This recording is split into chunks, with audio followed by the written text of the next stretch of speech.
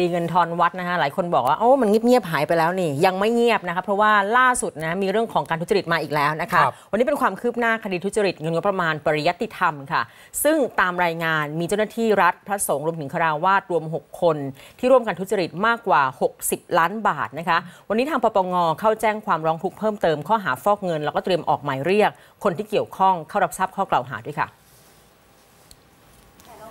ทางปปงนะคะได้เข้าแจ้งความเพิ่มเติมกับพันตำรวจเอกจากเพ่งสาธรรองผู้บังคับการป้องกันและปราบปรามการทุจริตและประพฤติมิชอบ เพื่อดำเนินคดีเจ้าหน้าที่รัฐทั้งหมด 4 คน เจ้าอาวาสหนึ่งรูป และคาราวาสอีกหนึ่งคน ในพื้นที่จังหวัดนนทบุรี อุดรธานี นครศรีธรรมราชและลำปาง ในข้อหาตามพรบฟอกเงิน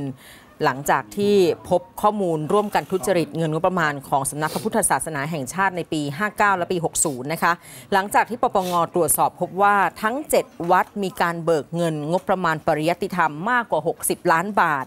ทั้งที่ไม่มีการสอนพระปริยัติธรรมในวัดทั้ง 7 แห่งค่ะ ทางพันตำรวจเอกจาก บอกด้วยนะคะว่าก่อนหน้านี้ทางปปป แจ้งข้อหาละเว้นการปฏิบัติหน้าที่ตามมาตรา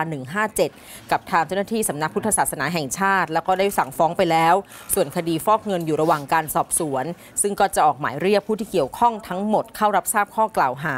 ส่วนการอายัดทรัพย์สินยังอยู่ระหว่างการตรวจสอบค่ะ